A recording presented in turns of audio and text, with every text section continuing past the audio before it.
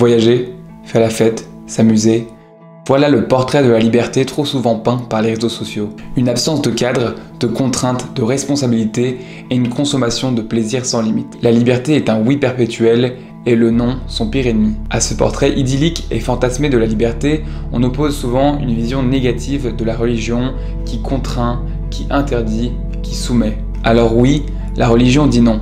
Mais est-ce que cela veut dire que Dieu ne nous rend pas libres? Je suis persuadé qu'on s'est tous construits grâce aux règles imposées par nos parents, par des obligations qui nous paraissaient bien contraignantes lorsqu'on devait les respecter. Le non éduque. Il nous apprend à gagner notre liberté. À l'image d'une mère, à l'image d'un père, Dieu nous donne un chemin à suivre, des recommandations, des conseils, car il nous veut libres. Bonjour à tous, bienvenue sur Amen. Aujourd'hui, nous allons parler du lien entre religion et liberté. Ah ouais, lui, il me prend la tête avec sa philo, oh là là Non, Thérèse, il ne s'agit pas de faire un cours de philo, mais plutôt de déconstruire ce préjugé qui consiste à dire euh, que la religion opprime la liberté des individus. Bien que Dieu soit tout-puissant, non, il n'est pas un dictateur.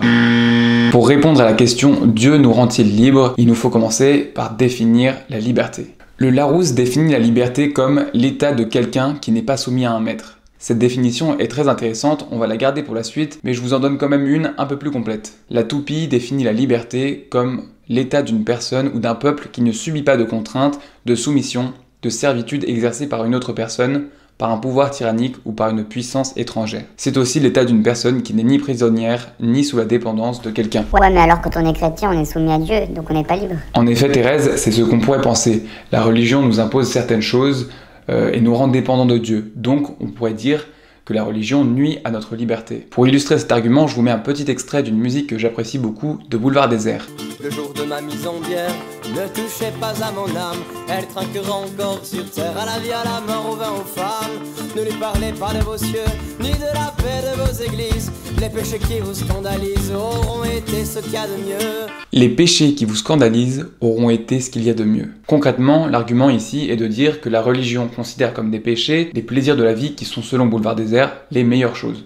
Là, il parle en l'occurrence de vie, de mort, de vin, de femme. Sauf que pour nous les cathos, la vie, on en a deux, la mort, euh, c'est une montée vers Dieu, le vin, on le boit à la messe, et les femmes, bah, on les épouse, et en plus pour la vie. Ah ouais, le sexisme en 2022, c'est chaud. Oh, je suis dans la sauce. C'est peut-être que par vin et femme, Boulevard Désert entend davantage Ivresse. et Adultère. Bah oui, il faut dire les termes, les gars. Pour mettre les choses au clair, revenons rapidement sur les interdictions dans la religion catholique. La religion catholique est peut-être celle qu'on associe le moins à l'interdit, car il n'y a pas d'interdit alimentaire comme chez les juifs ou les musulmans par exemple, mis à part euh, la viande le vendredi de carême. Ça va, c'est plutôt tranquille. Cependant, on partage avec les juifs un ensemble de règles issues de l'Ancien Testament qu'on appelle les dix commandements. Parmi ces dix commandements, on retrouve des injonctions sur notre rapport à Dieu, par exemple honorer le jour du sabbat, chez nous les, catholiques ça va être le dimanche, mais aussi euh, dans notre rapport aux autres, par exemple ne pas voler, euh, ne pas tuer, ne pas commettre d'adultère. Ça, ce sont ceux qui sont écrits de manière formelle dans la Bible. Mais il y a aussi euh, de nombreux péchés qui ne figurent pas dans la Bible et qui ont été institués par l'Église catholique, le catéchisme de l'Église catholique, à la lumière des Écritures. C'est par exemple le cas des sept péchés capitaux, Orgueil, envie, paresse, avarice, gourmandise, colère, luxure. Bien joué Thérèse. Si on prend l'exemple des dix commandements, on peut se dire voilà dix choses que Dieu nous impose. Mais voyons les choses un peu différemment. Un non est toujours un oui quelque part. En nous donnant des devoirs, Dieu nous garantit des droits.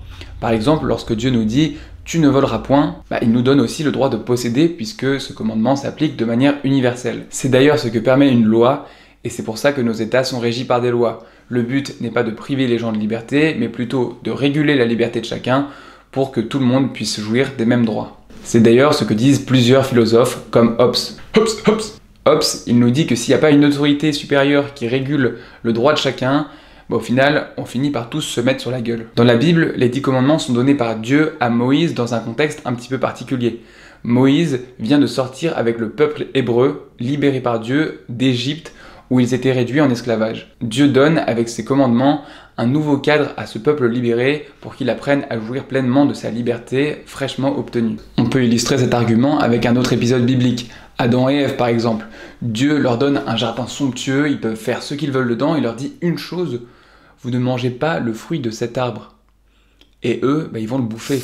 Ils finissent par céder au mal, céder à la tentation du diable et par pécher. Pourtant, Dieu avait été précis. Il n'avait pas dit vous ne mangerez pas de fruits, il a dit vous ne mangerez pas le fruit de cet arbre. Mais ça veut dire que tous les autres arbres, bah, ils auraient pu en profiter. Ça nous apprend qu'en ciblant, quand on sait précisément ce qui est mal, on pourrait profiter plus pleinement de ce qui est bon. Malheureusement, eh ben, on est attiré par le mal.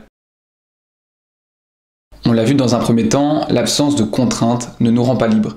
D'ailleurs, par essence, euh, dès notre naissance, nous sommes contraints.